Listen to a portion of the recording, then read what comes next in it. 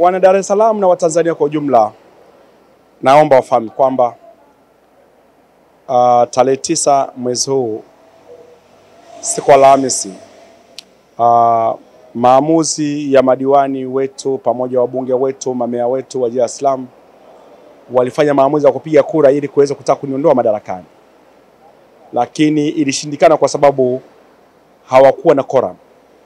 Kama ambavyo mnavyojua, tukitaka kumwondoa waziri mkuu spika, rais wa nchi hii, ni lazima ipigwe kura ya mbili ya tatu, theruthi mbili zikubali kwamba wamekubaliana na lile azimio la baraza ama la bunge, ndio unaondolewa. Sasa juzi hiyo ya tarehe tisa ya maamuzi yalipofanyika, hayakuweza kufanikiwa, hayakufikiwa kwa sababu kura zilizopigwa ilikuwa kura kumi na sita kati ya kura ishirini na sita.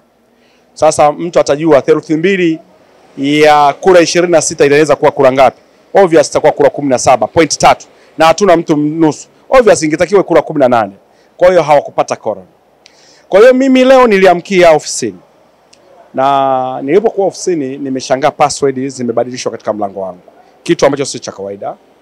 Lakini baada ya pale wamefungua mlango na nikaingia ofisini, na baadaye nikawa na wakati wa kwenda kufuta kesi ile ambayo nilikuwa nimeifungulia nimeifungua, nikaona haina haja ya kuendelea na kesi tena, kwa sababu mimi nilienda mahakamani kwenda kuwaambia mahakama wanipe nafuhu kwamba tusi tusiende kwenye mkutano ule, kwa sababu niliona kuna hatua zilikuwa zimekosewa, lakini mahakama ilichelewa kutoa maamuzi kwa sababu uh, zozote zile, na baadaye maamuzi yalitoka tarehe kumi.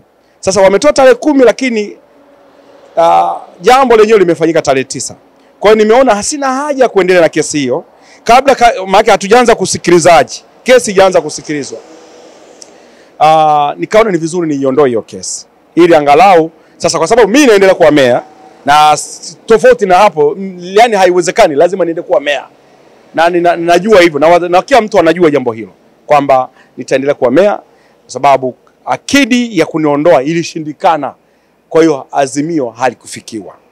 Uh, mimi sasa na niwaambie wana Dar es Salaam utulivu na kuendelea kuniombea dua, waniombea Mwenyezi Mungu, kila mtu kwa imani yake, kwa sababu mimi napitia kipindi kigumu sana, kwamba watu wanapanga hira eh, mkurugenzi ana hujumu, anaamua kuandika jina la bandia ili mimi niondolewe. Si jambo la kawaida, yaani wanaandika majina ili mimi niondolewe kwa, yani kwa, kwa, kwa, kwa, kwa haja wana wanaandika majina, mtu ameandikwa hayupo, ili mimi nipate kuondolewa lakini Mwenyezi Mungu kwa sababu wachungaji, mashehe, wana Dar es Salaam waliomba, ndio maana mkaona yale yametokea.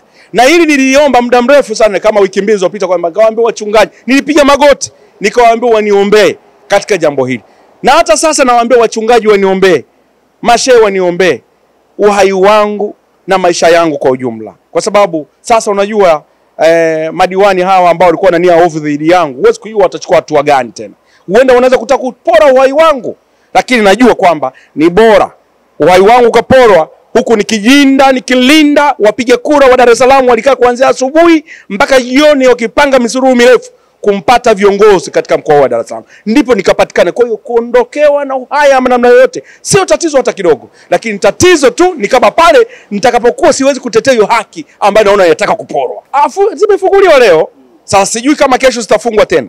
Mimi nitakwenda na niwaambie, kwanza nitaanza kwenda kuomba gari kwa mkurugenzi anipatie gari ili niweze kuendelea kufanya kazi zangu, na wakumbusha wasivunje taratibu, na kama wanao uwezo huo watoke wawaambie wananchi kama kweli wameweza kufanikiwa kuniondoa madarakani. Hawajaweza, mbili ya tatu haijafikiwa. Ujue mimi ofisi yangu ya meya wa Dar es Salaam iko pembezoni, haiko pamoja na watumishi. Mimi niko pembezoni niko ofisi yangu iko yenyewe yenyewe kama yenyewe haichangamikani na iko karibu na Ikulu pale e, na jiji kama watumishi wako hapa karibu na Azam Marine. Kwa hiyo unaweza kuona kwamba wa, sijajua watumishi wanachukuliaje hili, lakini naamini watumishi wote ni marafiki zangu, na nikwambie watumishi wote ni marafiki zangu na wananiheshimu sana. Mkumbuke mimi nilitafuta maridhiano na serikali hii nilipoingia madarakani tu, nikaanza kufanya kazi nao vizuri sijawahi kumvunjia mtumishi, sijawahi kumvunjia yoyote heshima. Mheshimiwa Rais sijawahi kumvunjia heshima mkuu wangu wa mkoa Mheshimiwa Paul Makonda sijawahi kumvunjia heshima, na watu wote ambao tumekuwa nao hapa mkoani, nimefanya nao kazi vizuri. Mara ngapi umemsikia waziri mkuu ananisifia? Mara ngapi umemsikia makamu wa rais ananisifia? Mara ngapi umemsikia rais ananisifia kwamba mimi ni mtu mwema? Mara ngapi umesikia Makonda anasema huyu binadamu ni binadamu wa tofauti? Sasa kwa nini wanataka kuni kunidhalilisha?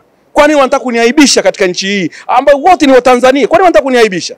Nadhani mimi hapa ndipo napata shida, lakini naamini wachungaji, mashehe, wana Dar es Salaam na Watanzania kwa ujumla waendelee kuniombea ili jambo liweze kwenda vizuri. Kwa sasa hivi chama hakiwezi kuingilia kati kwa sababu bado sija sijapoteza chochote, kwa sababu ingekuwa sasa wameniondoa tungesema sawa, lakini hawajaniondoa na maamuzi yaliyofanyika. Maamuzi yangefanyika kama mbili ya tatu ingefikiwa, na wewe kama ulikuwepo uliona jambo hilo. Mbili ya tatu walipata kura kumi na sita.